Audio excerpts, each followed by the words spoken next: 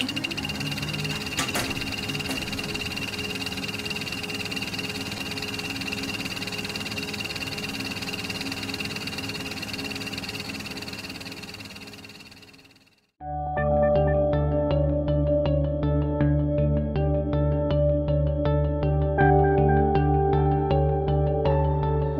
in 1850, the park was built and, and left for Sir Robert Peel, who was the founder, member of the police force, or the, founder of the police force, should I say. I think, I think it took about 12 years for them to raise the funds for the park. To raise the funds, they had various fairs um, and galas um, to get the cost for, and it was dedicated to the, the people of Bradford.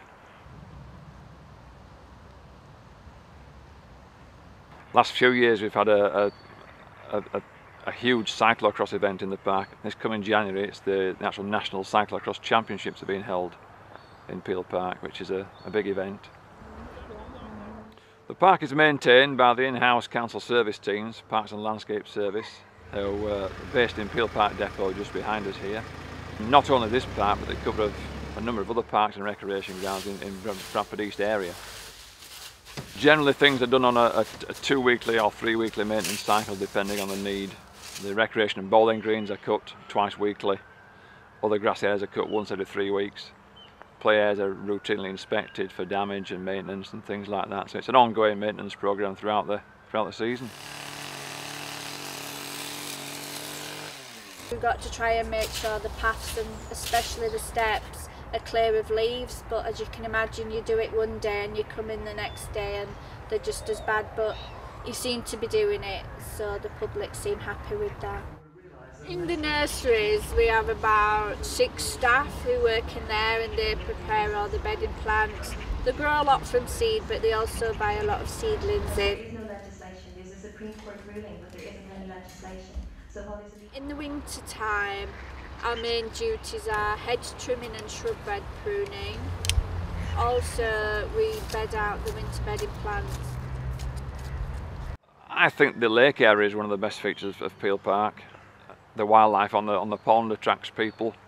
Kids come in, young parents with kids come in to feed the ducks, etc.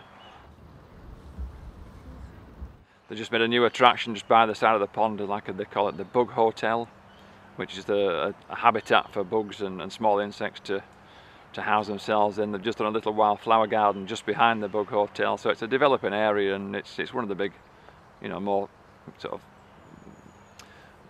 better attractions really.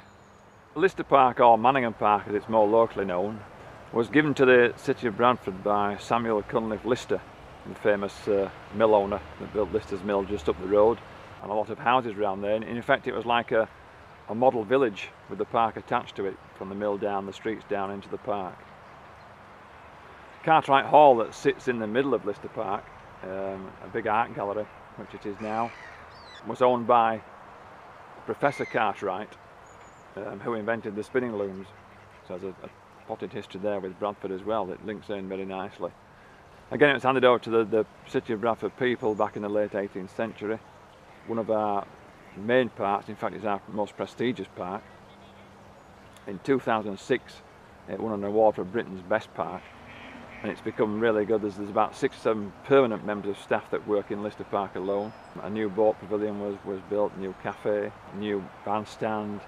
Far end of Lister Park we have a fantastic botanical garden with a superb stream running through it. There's a collection of plants in that botanical garden from all over the world which has a fantastic range of varieties and colours all through the summer season and winter as well.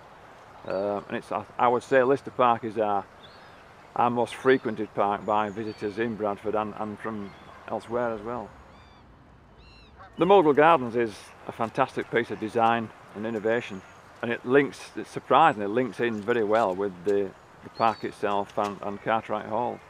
You know, it's a fantastic design with all the sandstone that was used, the fountains, and hot summer days, kids are in the fountains, in the water, it's, it's, it's packed with people.